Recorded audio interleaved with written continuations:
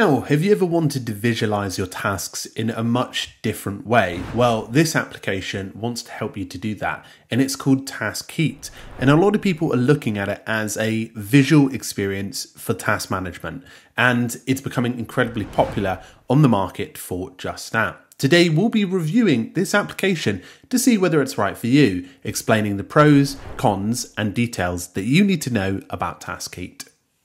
So, welcome. My name is Francesco D'Alessio. If you're new here, please do hit subscribe. And if you've yet to check out toolfinder.co, you'll find lots of to do list applications for you to explore a lot more. Now, I think the best place to start with an application like this is the pricing. And there are two sets of pricing to this experience. You can just buy it outright for the price of $14.99, and that is for the full version of it, one price, and you get it for lifetime basically. Um, and this app is actually available on iOS and through Mac.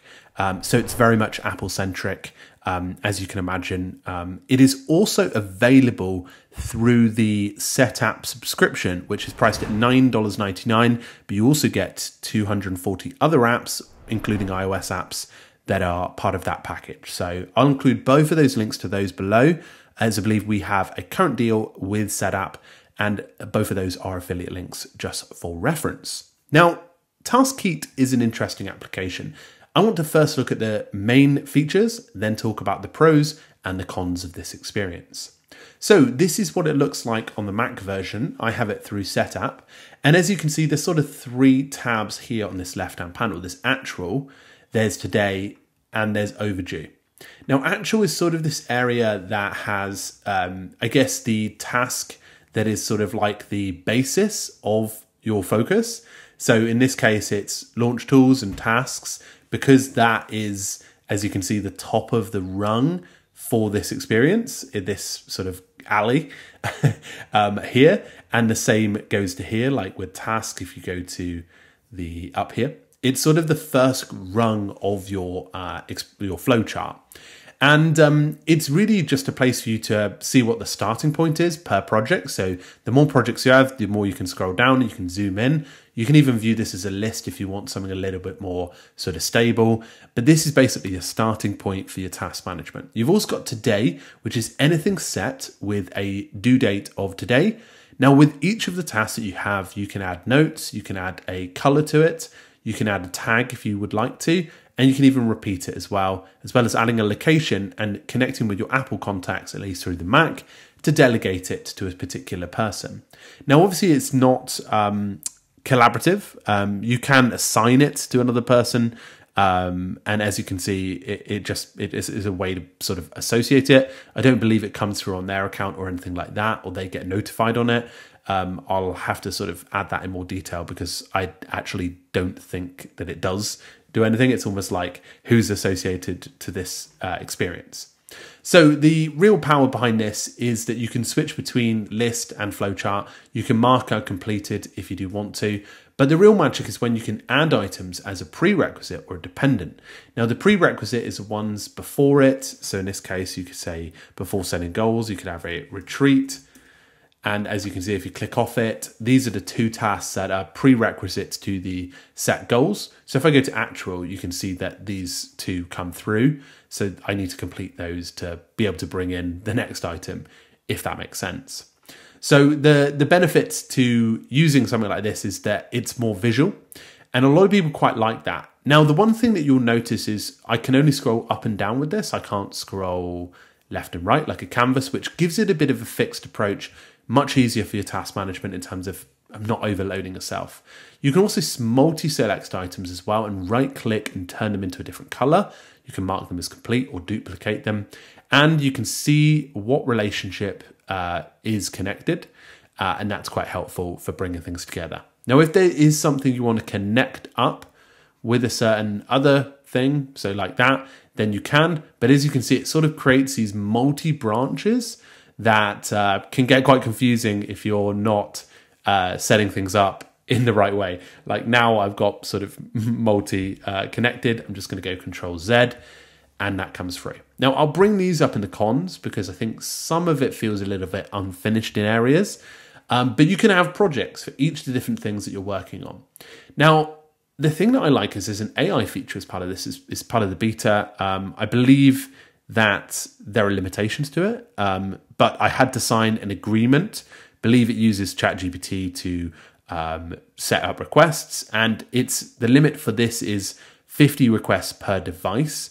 Um, so I think there's certain limits to how many tasks you can add. So in this case, what I'm going to do is add a dependent, and what it's going to do is detect the title and bring together a bunch of tasks that are associated with that. So essentially, using ChatGPT, um, I believe uh, that's the AI assistant connected to to produce the next outcome for you. Now, if there is a a, a dependent of a certain task that uh, is also available, you can also branch that out. So you can say uh, feedback. I don't know. I'm just trying to make that up, and you can start bringing details in.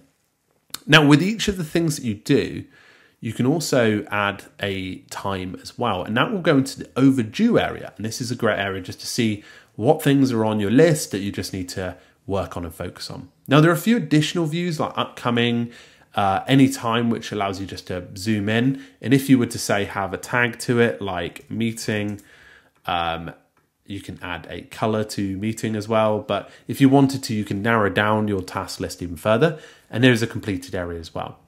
Now, to be honest, that's really all in all of this application. If you want to change a few things, you can do it horizontally for those who are set up. You can see that there's a 50 requests limit, and it is OpenAI um, ChatGPT that they use as the API. So there's a 50 request limit as part of that. Now, I can imagine that might be due to the associative uh, because I'm on Setapp. So that's something to be aware of when using the integration. However, that is pretty much the application. Let's talk about the pros and the cons of it.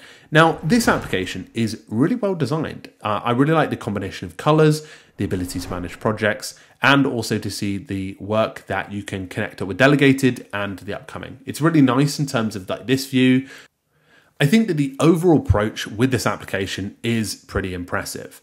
Um, the cons, I would say, with it have to be around some of the stability. Now, here is a problem report that I've just had because it crashed on me during this review. I have had this crash before prior to this review, and I also noticed some issues when I was browsing that area uh, previously. I don't know whether it's on here now, maybe because I refreshed it, that the cache got cleared, but there were sort of dull or fake, um, not fake, uh, sort of boxes that weren't fully completed, which was quite difficult to just be able to just see. Uh, which was a bit of a shame. So that's something to be aware of when using this, um, and as you can imagine, just something to note. Now, this application um, is uh, available on iOS, which means you can uh, use it on the go. Um, but it isn't as uh, you can see to sort of zoom out, which is quite nice. But you do have the ability to just see that list view, which is quite helpful. On iPad, it's a little bit better when it comes to the flowchart element of it, and it does have a fairly good rating. So that is my experience of Taskheat. Uh, those were the pros, the cons, and who is it best for? Well, if you're somebody that's visual, this is going to be great for you. If you like planning in a flowchart with uh, prerequisites and dependents, this is going to be a great little bonus experience for you. Um, I would just make sure that you've got the most updated version or you're on the most stable edition because I've seemingly to have some problems with this application. I have checked the version history and I don't feel like I have anything that's uh, different to the latest version, but of course, just something to be aware of if you're somebody that uh, worries about stability of an application. So thank you very much. I hope this review was helpful. Remember, you can jump over to toolfinder.co to explore more task management applications if you're in hunt for more. Thank you very much, and I'll talk to you all very, very soon. Cheerio.